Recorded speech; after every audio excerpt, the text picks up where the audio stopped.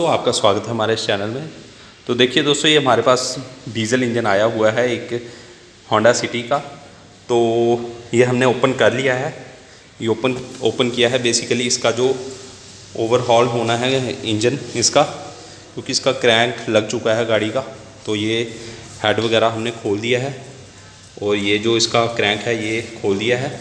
इसकी क्लीनिंग वगैरह इन पार्ट्स की हो चुकी है, ये देखिए। इसकी भी हो चुकी है, इसकी भी हो चुकी है और क्रैंक भी की भी हमने क्लीनिंग कर दी है। अब इसका जो, इसकी क्लीनिंग चल रही है, पिस्टन्स वगैरह की, ये पिस्टन वगैरह की क्लीनिंग हो रही है प्रॉपर तरीके से। तो अब इसकी क्लीनिंग की जा रही है, जो ये क्लीन हो जाएगा तो उसके बाद हम काम करेंगे इस पर। ये भी क्लीन हो चुका है। ये इसका सामान है बाकी का, ये भी हमने क्लीन करके रख दिया है। ये इसके रिंग वगैरह हैं, ये पड़े हैं आपके सामने। तो दोस्तों, ये क्लीनिंग देखिए किस तरह से अच्छे तरीके से कर दी है। तो इसका जो छोटा मोटा काम था, वो हमने कर लिया है। जैसे कि क्लीनिंग करके इसका जो ये है ऑयल जेट वगैरह हमने लगा दिया है। ये छोटा सा काम था जो, ये हमने साथ साथ में ही कर दिया था ऑयल जेट वगैरह का। और इसको भी सरफेस करवा लिया। ये देखिए, कितने अच्छे तरीके से प्रॉपर तरीके से हेड इसका सरफेस करवा दिया रीसरफेस हुआ है ये। ये देखिए साइड से भी क्लीनिंग अच्छी तरीके से कर ली गई है। तो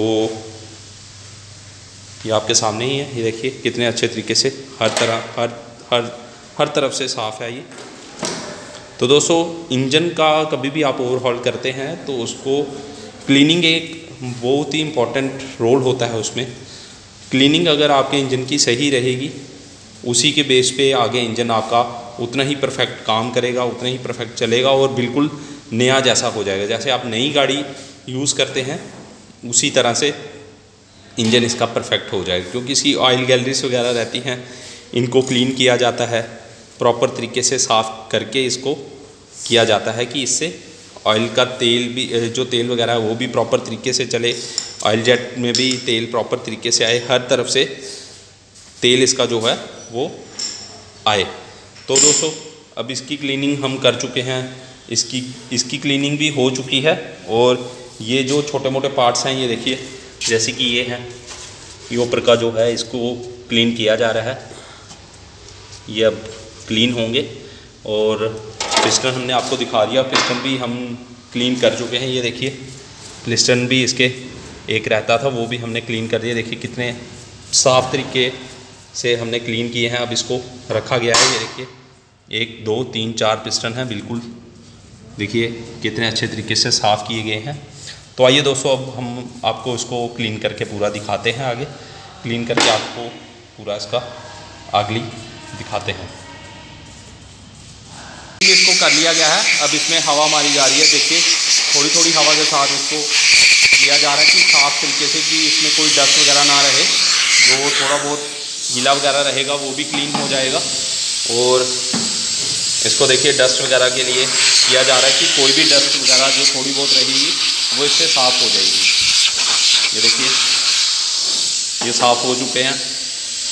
ये तीसरा, ये देखिए जो ऑयल वगैरह कुछ भी जो इसमें है, वो साफ़ हो रहा है।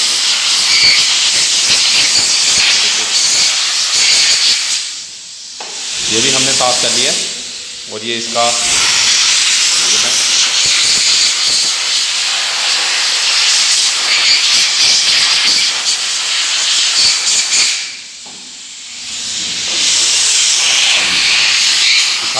सारे जो इसके हैं ये साफ़ हो चुके हैं।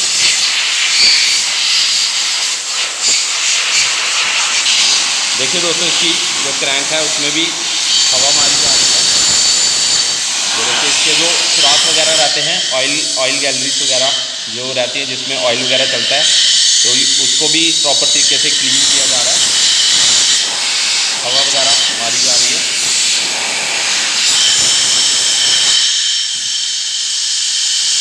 तो दोस्तों, इसको हवा मार के एक बार हम इसके भी आपको बता देंगे किस तरह से चेक किए जाते हैं।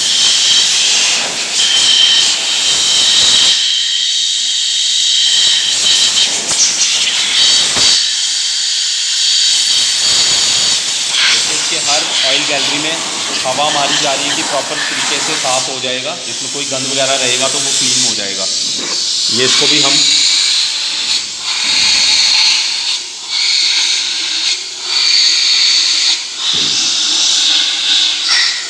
यहाँ से भी हमने हवा का, देखिए, पूरा कर दिया है। थोड़ा बहुत जो रहता था, वो हमने अभी किया है। पहले इसको क्लीन कर दिया गया है। तो दोस्तों, अब हम आपको इसको दिखाते हैं कि किस तरह से इसके सुराख हम चेक कर सकते हैं कि सुराख वगैरह प्रॉपर तरीके से, ये देखिए, सामने सिलाई भी, एक सिलाई रखी है। नॉर्मल तरीके से हम चेक कर लेंगे इसको। ये देखिए, इस तरह से हम चेक करेंगे। हमने एक सिलाई रखी है और यहाँ से देखिए हम इसको जब घुसा रहे हैं तो ये दूसरी साइड से बाहर आ रहा है। इसका मतलब इसका जो ऑयल गैलरी है, वो ओके है, साफ़ हो चुका है, कहीं से बंद नहीं है। ये देखिए, यहाँ से हमने जो घुसाई है, ये दूसरे साइड से आपको दिख रही होगी। ये देखिए, हम आपको दिखाते हैं अभी। ये हम, ये देखिए। तो देखिए दोस्तों, ये हमने इसमें सिलाई वगैरह एक डाली है और प्रॉपर तरीके से ये बाहर आ रहा है। तो इस तरह से हमने ऑयल गैलरी इसकी चेक कर ली है। अब आगे दिखाते हैं आपको। चलिए। क्रैंक को हमने जो पल्स प्लेट होती है, क्रैंक पल्स प्लेट ये लगा दी है। ये देखिए, ये लगा दी है। बेसिकली इसमें एक सेंसर लगा रहता है और यहाँ पे ये देखिए, यहाँ पे इसका एक छोटा सा कट रहता है। ये देखिए, जिससे ये अपना पोजीशन वगैरह का देखता है, जो इसका देखता है पल्स पल्स वगैरह चेक करता है। इसी से वो चीज़ होती है, यही होती है वो प्लेट जिससे क्रैंक पल्स का पता चलता है रोटेशन वगैरह का पता चलता है। ये सारा इसी इसी का काम होता है। और ये ये देखिए, यहाँ पे इसके सारे छोटे छोटे ये टीथ्स वगैरह हैं, और ये कटे रहते हैं। तो इसी एरिया से सेंसर जो होता है सेंस कर लेता है रोटेशन इसकी। तो ये इसके बैरिंग्स वगैरह मेन बैरिंग वगैरह अपर और लोअर जो रहते हैं ये भी हम साथ साथ में देखिए क्लीन हो रहे हैं, ये क्लीन हो रहे हैं। क्लीन करके अब इसको चेक किया जाएगा। ये देखिए। ये अपर और लोअर बैरिंग्स रहते हैं। ये लोअर वाले हैं। ये ये ऊपर है और इसके नीचे जो रहते हैं और लोअर रहते हैं। मेन बैरिंग्स क्लीन करके अब हम चेक कर रहे हैं इसको। ये देखिए।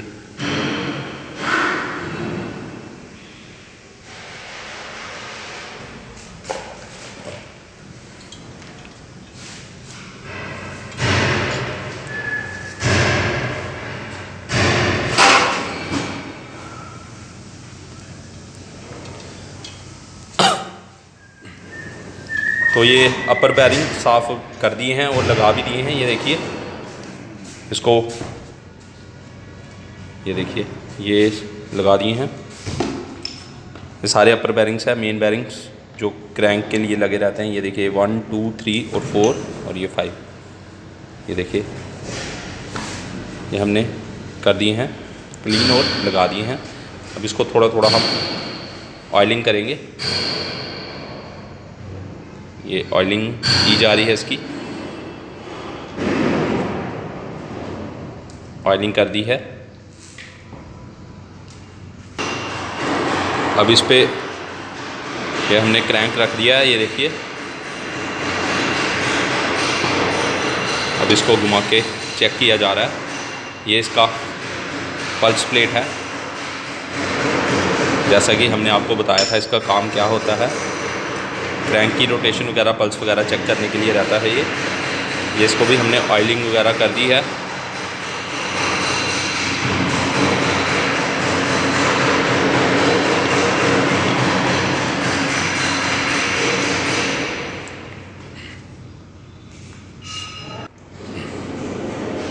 ये दोस्तों इसके थर्स्ट वाशल हैं।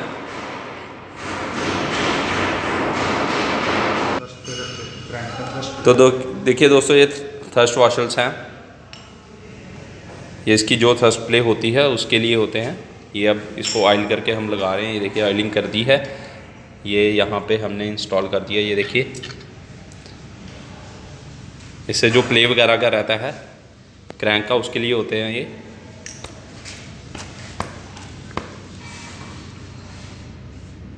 ये क्रैंक का जो प्ले सेट करने के लिए रहते हैं। तो दोस्तों ये इसका मेन कैप है। इसमें हमने लोअर जो लगा दिए हैं ये इसका मेन कैप है जिससे इसको ऊपर लगा के इसको बंद किया जाएगा क्रैंक को। यहाँ पे इसको पहले हमने लोअर मेन बैरिंग्स लगा दिए हैं ऑयल कर दिया है इसको। ऑयलिंग हो चुकी है। अब ये मेन कैप ऊपर से हम लगा देंगे इसको। जिससे ये क्रैंक अपनी जगह सेट हो जाएगी और इंस्टॉल हो जाएगी। यहाँ पे देखिए एक एक लग चुका है।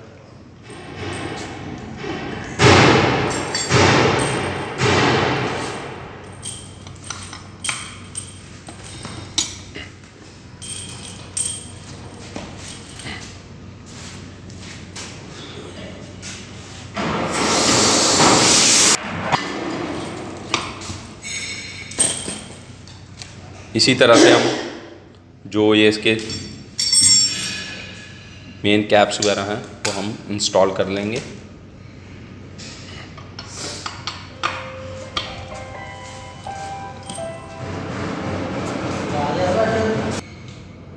तो दोस्तों, ये लास्ट जो मेन कैप है, वो भी हमने लगा दिया है। अब इसको जो बोल्ट्स वगैरह हैं, ये देखिए, ये बोल्ट्स हैं इसके, ये भी हमने क्लीन करके रखे हुए हैं ऑलरेडी इसको भी ऑयल लगा के हम प्रॉपर तरीके से टॉर्क दे के इसको सेट कर देंगे। तो दोस्तों, इसकी भी एक टॉर्क रहती है। इन बोर्ड्स वगैरह की एक टॉर्क रहती है। उतनी ही टॉर्क पे आपको इसको बंद करना रहता है। इससे ज़्यादा नहीं करना होता है। ना ही कम और ना ही ज़्यादा। तो इसी तरह से हम ये सारे बोर्ड्स वगैरह लगा के इसको एक प्रॉपर तरीके से टॉर्क दे के बंद कर देंगे। तो देखिए दोस्तों, हमने सारे ये इसके बोल्ट्स वगैरह लगा दिए हैं और ये ये हमारा टॉर्क रेंच है। इसी से हम इसको टॉर्क देंगे, ये बोल्ट्स वगैरह को। तो दोस्तों, ये सारा कुछ देखिए, लगा दिया है। ये टॉर्क रेंच भी निकल गया हमारा। ये टॉर्क रेंच के साथ अब हम टाइट करेंगे इसको। तो अब टॉर्क देते हुए आपको दिखाते हैं। चलिए। तो दोस्तों, पहले हम ऐसे ही हल्का हल्का इसको टाइट कर लेंगे। एक नॉर्मल जो रेंच रहता है उससे। तो जब टॉर्क देनी होगी लास्ट में इसको तो फिर हम टॉर्क रेंच का इस्तेमाल करेंगे। पहले थोड़ा थोड़ा जो पूरा ओपन है, इसीलिए हम इसके नट वगैरह इसी से जल्दी जल्दी में टाइट कर लेंगे।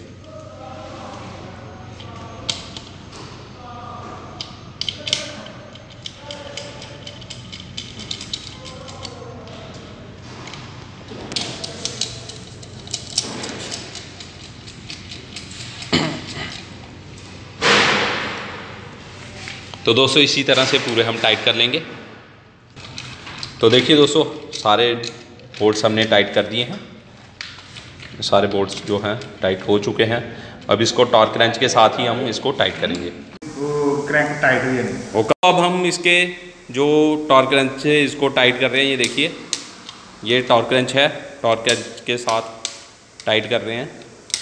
तो टॉर्क रेंच से टाइट करने का मेन मतलब यही होता है कि जो इसके मेन बैरिंग्स वगैरह रहते हैं, वो ज़्यादा टाइट ना हो जाएँ, जिसकी वजह से जो बैरिंग्स रहते हैं, वो जल्दी घिस भी सकते हैं और इसका जो प्ले है, वो भी प्रॉपर सही नहीं होगा और इसका जो क्रैंक शॉफ्ट है, वो जाम भी हो सकता है और इसका ये जो बोल्ट्स वगैरह हैं, ये प्रॉपर एक ही तरह के टाइट होंगे और प्रॉपर तरीके से टाइट होंगे। तो अब इसका प्ले हम देखिए। हमने टॉर्क रन से टाइट किया है। देखिए इसका प्ले प्रॉपर कितने अच्छे तरीके से आया है। देखिए रोटेशन इसकी कितनी अच्छी है। कोई एक्स्ट्रा प्ले नहीं है। एक्स्ट्रा इससे नॉइस भी नहीं रहती है। अगर हम बिना टॉर्क रन से करते, बिना टॉर्क के करते तो इसमें नॉइस वगैरह का भी कंसर्न रहता है।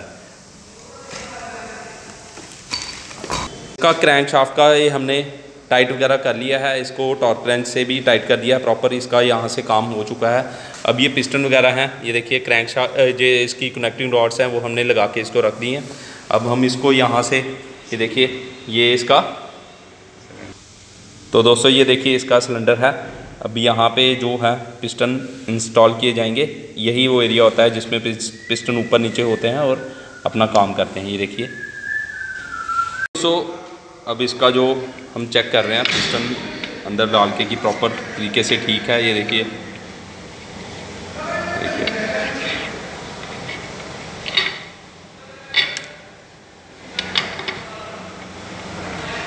देखिए। इसको बीच में घुसा, घुमा के देखा जा रहा है ये प्रॉपर ओके है या नहीं है। तो ये ओके है। तो दोस्तों, ये इसके कनेक्टिंग डॉट के जो बैरिंग्स हैं, वो इंस्टॉल हो रहे हैं। इसी तरह से हम सारे कनेक्टिंग डॉट्स के बैरिंग इंस्टॉल कर लेंगे। इसको भी कर दिया इसको भी कर दिया ये देखिए, इसी तरह से सारे इंस्टॉल करके अब आपको दिखाते हैं। तो दोस्तों, ये सारे बैरिंग्स वगैरह हमने जो कनेक्टिंग डॉट्स के हैं, ये सारे इंस्टॉल कर लिए। ये देखिए, इसी तरह से।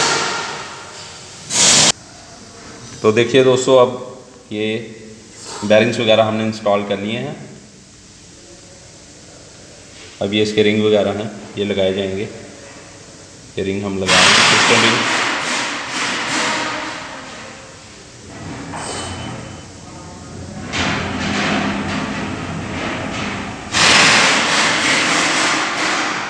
पिस्टन रिंग है।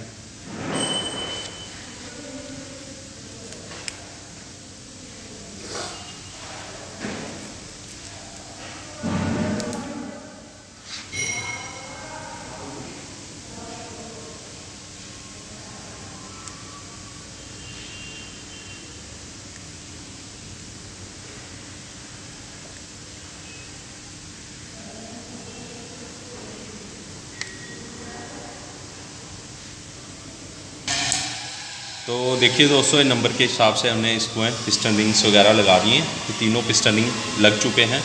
अब इसी तरह से हम बाकी पिस्टन रिंग्स को भी लगा लेंगे, फिर आपको दिखाएँगे। तो दोस्तों, अब हमने इसमें भी जो सिलेंडर है इसका, इसमें ऑयल लगा दिया है। और इसका जो पिस्टन है, ये देखिए, यहाँ भी हमने ऑयल वगैरह कर दिया है इसको। तो ऑयलिंग करके इसको प्रॉपर तरीके से देखिए। ऑयलिंग करके अब यहाँ पे हम इंस्टॉल कर देंगे इसको।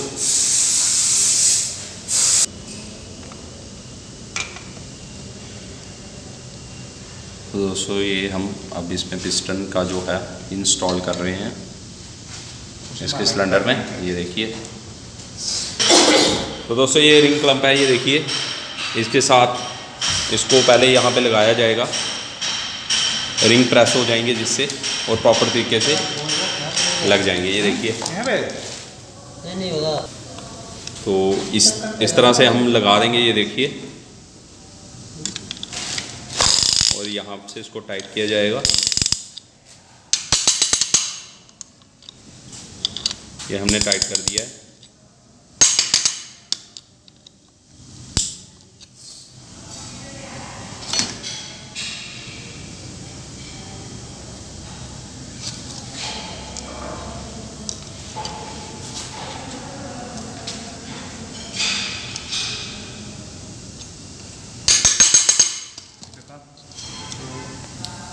टाइट कर दिया हमने। अब इसको किसी चीज़ की मदद से हम ये इसका पिस्टन ये देखिए अंदर चला गया है।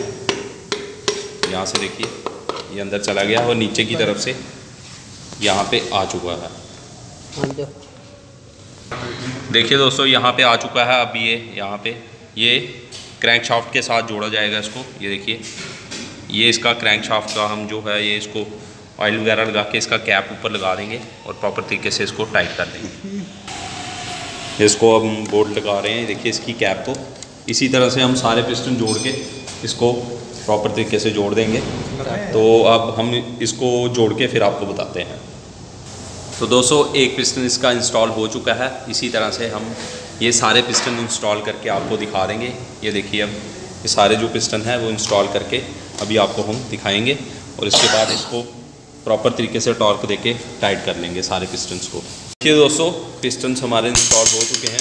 बस ये लास्ट पिस्टन जो है वो रह गया इंस्टॉल होने को। बस इसको लगाएँगे अब। तो इसी तरह से इंस्टॉल करके अब आपको दिखाते हैं। तो दोस्तों ये अब कनेक्टिंग डॉट्स की जो कैप्स वगैरह हैं वो टाइट की जा रही हैं टॉर्क क्रेंच से। इसी तरह से हम सारे सारे बोल्ट्स वगैरह को टाइट कर लेंगे। जो टॉर्क है इसकी 20 न्यूटन मीटर है। उसी हिसाब से हम इसको टॉर्क देके सारी कैप्स को टाइट कर देंगे। तो देखिए तो अब ये टाइट वगैरह करके हम आपको दिखाते हैं। इस तरह से हमने सारे पिस्टन्स वगैरह इसके लगा दिए हैं और ये जो कनेक्टिंग डॉट्स के कैप वगैरह थे, बाकी कैप्स थे क्रैंक क्रैंक शॉफ्ट के, वो भी इंस्टॉल कर दिए हैं। तो अभी हम इसको घुमा के चेक कर रहे हैं कि इसकी रोटेशंस वगैरह जो है वो ठीक है या नहीं। ज़्यादा मतलब कि जाम तो नहीं हो गया। ये देखिए, कितने आराम से ये काम कर रहा है। इसका मतलब ये जो अभी तक का जो हमने काम किया है, वो सारा कुछ ठीक हो गया है। अब इसका आगे का काम किया जाएगा और इस वीडियो में हमने आपको यही बताया कि किस तरह से ये असेंबली, असेंबल किया जाता है, किस तरह से क्रैंक लगाई जाती है, पिस्टन लगाए जाते हैं और उसके ऊपर से कनेक्टिंग जो कैप्स होते हैं, रॉड के, वो लगाए जाते हैं। तो धन्यवाद दोस्तों फिर मिलेंगे ऐसे ही एक नई वीडियो के साथ।